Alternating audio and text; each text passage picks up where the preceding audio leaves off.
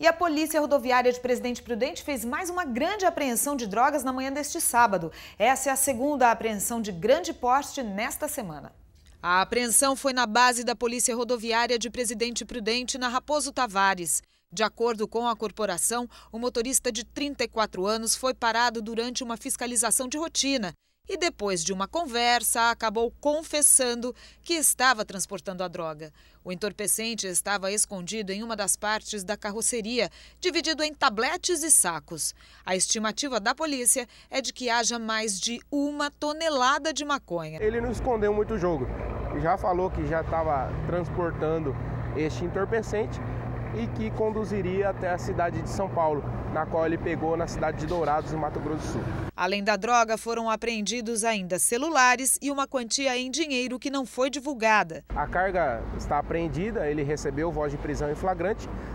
Ciência seus direitos constitucionais está sendo conduzida para a delegacia de polícia aqui da cidade de Presidente Prudente.